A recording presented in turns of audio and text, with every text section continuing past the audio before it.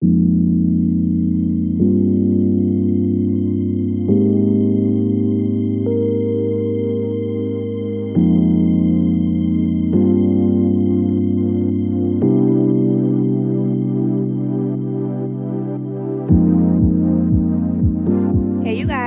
welcome back to my YouTube channel. I am Re'biana.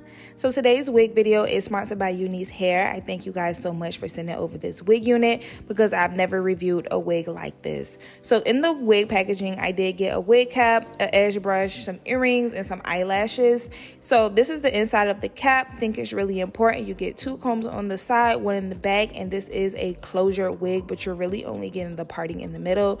So I'm going to go ahead and stop talking so that you guys can really hear what I have to say about this wig. Okay, you guys, so I have put on this wig unit. So it is a closure wig and it has fabric underneath so that the knots on the lace can be a little smaller.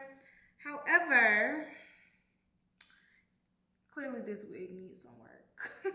so this is what it looks like on the side so that you guys could see. They did bring it along the hairline.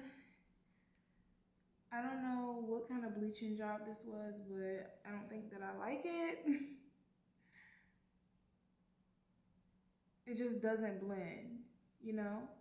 So, good thing that it's on the side, so I don't think it would really matter. But depending on if you curl this wig unit or not, it might. So if you go to part this wig unit, it can't be parted anywhere else. Because if you part it, there's a track.